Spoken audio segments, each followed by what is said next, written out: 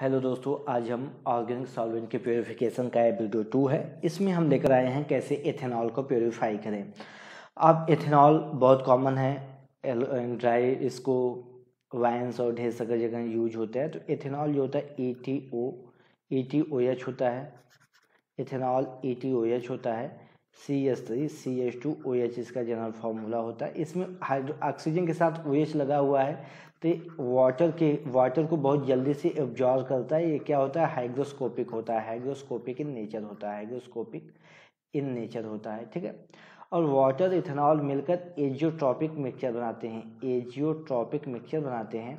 Azeotrope mixture क्या होता है? कि जिसका लिक्विड में सोलूशन में लिक्विड में और वेपर फ़ेज़ में सेम रेशियो होता है। ऐसे मिक्सचर्स जिनका लिक्विड और वेपर फ़ेज़ में फ़ेज़ में, उनका रेशियो सेम होता है। मीन्स लिक्विड फ़ेज़ में जिनका रेशियो जितना रहेगा, उतना वेपर फ़ेज़ में है तो उसको हम एजियोट्रॉपिक कहते हैं। इसमें लगभग four four two five percent, four two five percent water impurities होती हैं। ठीक है एजोटॉप सोल्यूशन में।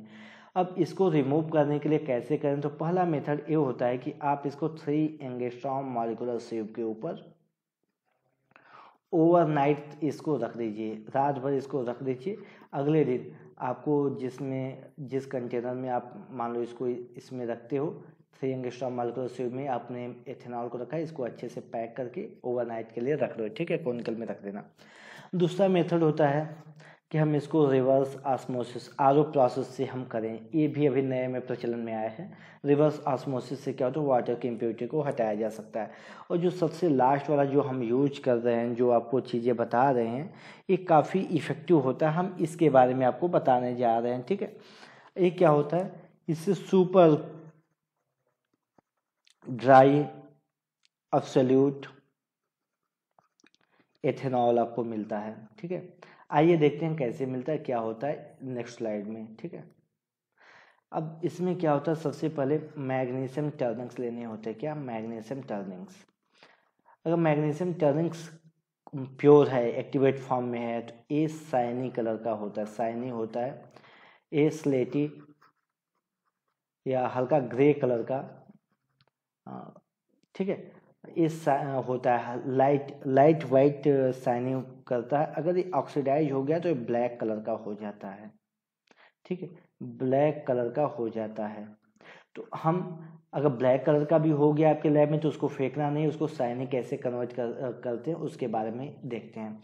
क्या होता है कि जो आपका मैग्नीशियम टर्निंग से ब्लैक हो गया इसको आप एच में लेके इसको आप सोनिकेट कर दो या तो आप आरबी में लेके आरबी में लेके इसको रोटेट करो, ठीक है? तो इसमें आप रोटेशन इसका चालू कर दो मैग्नीशियम पैलेट के साथ इसको आप इसको रोटेशन चालू करो, इसको सेक करो। फिर जब तक ये कम्प्लीटली ब्लैक कम्प्लीटली वाइट में ना कन्वर्ट हो जाए, तब तक आपको सेक करना है, उसके बाद इसको रिंस करना है, ठीक है? और फिर एथाइल डाई एथाइल ईथर अगर डाई एथाइल ईथर नहीं है तो एसीटोन से या एसीटोन भी नहीं है तो आप एथेनॉल या एथेनॉल से ई e से इसको रिंस करना है, इसको वॉश करना है, ठीक है? रिंस करना है या वॉश करना है। वॉश करने के बाद इसको आप ड्राई कर देंगे वैक्यूम ड्राई या ओवन ड्राई कर देंगे। अब जो आपको मिला, अब अब आपको एक्टिवेटेड या साइनिंग साइनिंग मैग्नीशियम टर्निंग्स मिला, ये आपका रिएक्शन के लिए, ये आपका ड्राइंग के लिए यूज़ होता है। इसमें क्या क्या आपको इंस्ट्रूमेंट चाहिए? आपको आर बी चाहिए two hundred M two litre का। आपको आर बी कंडेंसर चाहिए रिफ्लक्स कंडेंसर इसको बोलते हैं कंडेंसर एक चाहिए और एक गार्ड ट्यूब चाहिए। जो गार्ड ट्यूब होता, होगा उसमें या तो calcium chloride anhydrate calcium chloride उसमें फिल करेंगे या तो के ओ एच का पैलेट उसमें यूज़ कर, करते हैं, ठीक है? ये ध्यान देना है गार्ड ट्यूब का यूज़ आपको करना है। एक, आपको आयल बाथ या वाटर बाथ ऑयल बाथ ही ले लीजिए ऑयल बाथ भी आपको चाहिए, ठीक है? मैं लैब के पर्पज से बता रहा हूँ। फिर क्या होता है? आपको यहाँ पर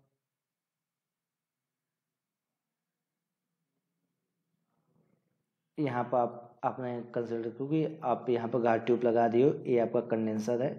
ठीक है, यहाँ पाइप लगा हुआ है इनलेट है आउटलेट है। इस प्रकार से आपने इसको रख दिया ऑयल बात के ऊपर। ध्यान देना।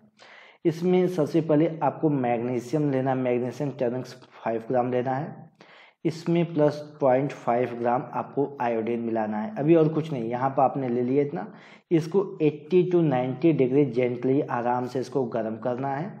गर्म करने के बाद क्या होता है कि मैग्नीशियम के ऊपर आयोडीन की कोटिंग हो जाती है। पहला स्टेप ये करना है। सेकेंड स्टेप में क्या होगा आयोडीन की कोटिंग होने के बाद आप इसको लगभग, आप इसको लगभग वन टू टू आवर्स इसको करेंगे, ठीक है?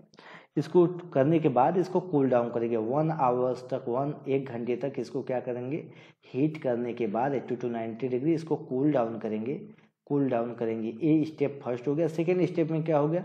अब इसमें fifty two seventy M L twenty seventy M pure और ड्राइड एथेनॉल आपको लेना है ई टी ओ एच इसमें ऐड करना है और इसको फिर रिफ्लक्स करना है। तब तक इसको रिफ्लक्स करना है जब तक कि आयोडीन का जो ब्राउन कलर होता है वो डिसअपियर ना हो जाए। आयोडीन का कलर डिसअपियर ना हो जाए डिसअपियर ना हो जाए। तब तक इसको आपको हीट करना है। जैसे आयोडीन का कलर डिसअपियर हो जाए, फिर आपको कूल डाउन करना है।